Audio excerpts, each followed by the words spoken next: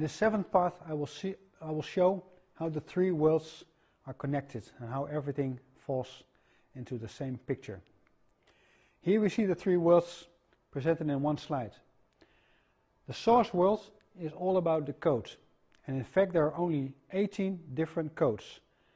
The ciphers 1 up to 9 having a positive charge or a positive value, meaning female or yin, or a negative value, meaning yang. Of course, negative is not good, is not bad, and, and positive is not good. It's just about the energies having a different charge. This is the code, and the code is activated because the code is passive, it cannot do anything. But energy is the activation of the code, it's, it's bringing it alive by the basic functions like adding, like multiplying, like subtraction, and so on. And also the special functions of doubling and halving. Creating the skin of the apple.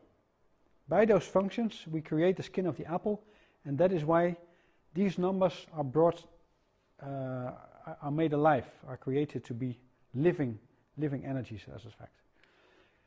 And that is why there is motion. Yeah, we saw the heartbeat of the apple in the previous presentation. That's creating motion because plus 9 and minus 9 create tension. And the shadows casted from this dynamics we can see as matter. Those are the nodes in the energy waves. They look real, they look solid, but they are just shadows, nothing more. And here again we find another reference to Plato because these basic three, three directional forms are called Platonic solids, where we find the name of Plato again. These are manifestation of the motion, and we can find the meaning of the motion when we uh, relate it back to the ciphers. So it all starts with the source world.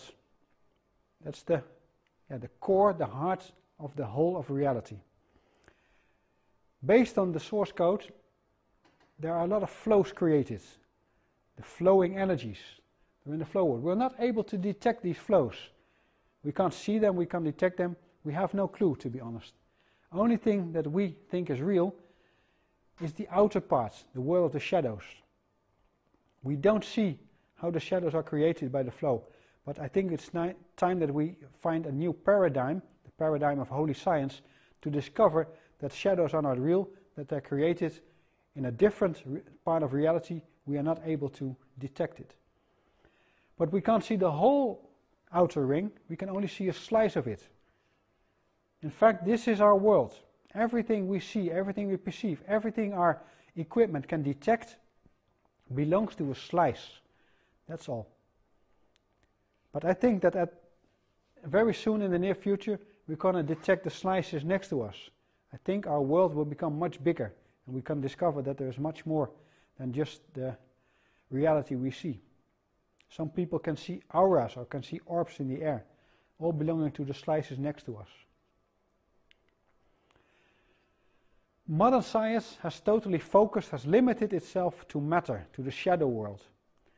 And you could say ancient science was floating around in the energy world, not making much sense to people who focus on the, on the matter, materialistic, on the manifestations. What Wholly Science is trying to do is to unify it, to combine the best of both worlds, and to show that in fact matter is a reflection of energy and that energy relates back to code, that you can influence energy by using the codes. That is the aim of Wholly Science, and that is the new paradigm I hope to bring to this planet. To read more about this, please go to the website pateo.nl. There you find this free online ebook called The Bigger Picture. Thank you very much for your attention. Namaste.